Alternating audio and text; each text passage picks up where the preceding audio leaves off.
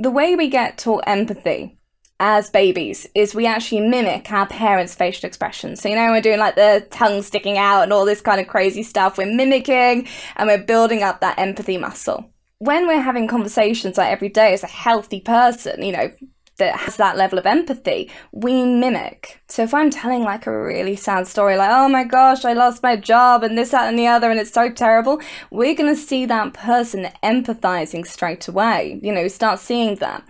But with narcissists, you will not see that empathy straight away. Or if they're highly intelligent, which often, you know, have people in very high powered positions like lawyers and all those, you know, CEOs and all these big power play positions, they, they're often a little bit more intelligent. So they will mimic, but there's a way of finding out if there is a genuine facial expression or not. And it's the way that the expression leaves the face.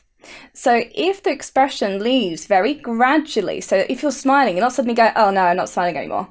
you know, we don't do that. Um, uh, and it's the same if we're really sad. We don't suddenly go, "Oh gosh, looks terrible." Oh, do you want a cup of tea? You know, we don't suddenly switch and change. And that can be a very good way to actually see if someone has that level of empathy, and if someone's narcissistic, it, that's going to happen consistently. That's really important to know. You know, sometimes you might be a little bit checked out of a, of a conversation, but in a narcissistic relationship, you're going to see that consistently. There's never going to be that level of empathy there. I love that. And it tracks with what we know about nonverbal signaling. Because again, all of this is chemical reactions happening in your body, and those chemical reactions are slow burn. They don't just shut off immediately. So, of course, these expressions aren't going to leave your face. Another point that I recognize in, in past experiences and I look for now is the rationalization that happens when the person they meet, it could be a server, a staff member, someone that they consider has slighted them in any way, has not seen them in the light that they want you to see them in, they will come up with very over the top stories, explanations, and victimhood at the slightest inclination that they might be not seen in the way that they want you to see them. So I've seen overreactions to waiters and waitresses around their behavior. And again, it's coming from the fact that they live their entire life having to save this face, to keep this mask on that they are this perfect, amazing person.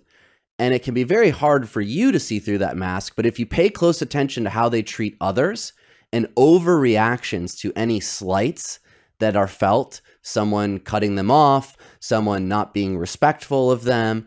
You know, these are things that most of us just shrug off. Like maybe every once in a while it'll get stuck in your craw because you've had a really bad day. But if they're reacting over the top repeatedly to the slights that just go about living your life on a day to day basis, you know, that's what I've tuned into more than ever is how you treat anyone is how you treat everyone.